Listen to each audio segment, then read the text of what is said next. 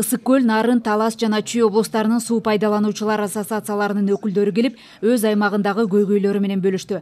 Көпчүлүк райондордо суга суулар тартыш болгондуктан айдоо аянттары толук пайдаланылбай келет. Айыл чарбасынын өндүрүмдүүлүгүн жана тамак ашты жакшыртуу долбоорунун алкагында сокулук районундагы эгин талааларда сууну үнөмдүү пайдалануу боюнча долбоор иштеп тамчылатып сугаруу системасы аркылуу бир миң эки жүз гектардан ашык аянт жемиш талааларына айланды. Кырк бир бүтүн ондон бир миллион сомдук жумуш аткарылганы жатат анын мында бир миң эки жүз алтымыш гектар жердин орошаемый площадь суу суу боюнча пайдалануу боюнча жакшы турат да он сегиз километрге жакын канал бетондоштурулат лоток коюлат көп жана суу куюлма турган куюлмалары көп гидротехник сооружениялардын баары жасалат муну менен ушул ат башы айыл өкмөтүнө караштуу али ороситель спасынын почти орошаемый площадь токсон процентке жакшырат дегенди билдирет жумгал районунда да суу тартыштыгынан улам айдоо жерлери буудай арпа жана чөп менен чектелчү.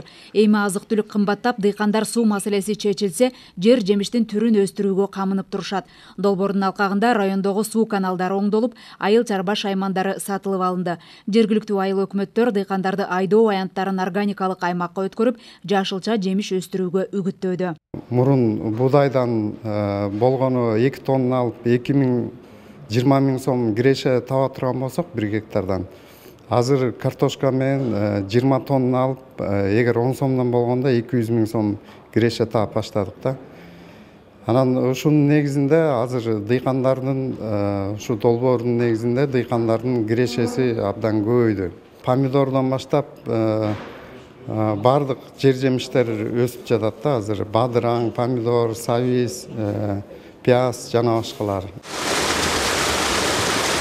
дүйнөлүк банк өлкөдөгү азык түлүк коопсуздугун камсыз кылуу багытында отуз сегиз миллион доллар каражат бөлдү. Анын жыйырма сегиз миллиону инженердик дренаждык каналдарды калыбына келтирүүгө сарпталат айыл чарба тармагында иштеп жаткан дыйкандарга көмөк көрсөтүлүп азык түлүк коопсуздугун сактоо максатында отуз бир аймакта суу менен камсыз кылуу иштери уланууда. Айыл чарбасынын коопсуздугун сактоо иретинде ошолорго жардам көрсөтүү иретинде эки бүтүн ондон эки миллион акш долларын бөлүп бүгүнкү күндө ушул отуз суу пайдалануучу ассоциацияларына биз үрөөндөрдү сатып берели деп атабыз. Ошо бир миң бир жүз жыйырма тонна үрөөн э, анын ичинде ошол э, арпа буудай андан тышкары элүү алты бүтүн ондон алты э, тонна жүгөрү анан үч жарым миң тонна ушу жер семириштерди кудай буюрса ушул жылы жалпы биздин отуз суу пайдалануучу ассоциацияларына жеткирип берели деген максаттабыз. Долбоордун негизги максаты сууну өз учурунда жеткирип берүү менен алынган азыктардын негизинде калктын тамактануусун жакшыртуу.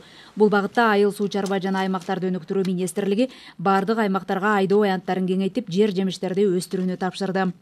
Элиза нурматова чыңгыз жумагулов ала тоо жыйырма төрт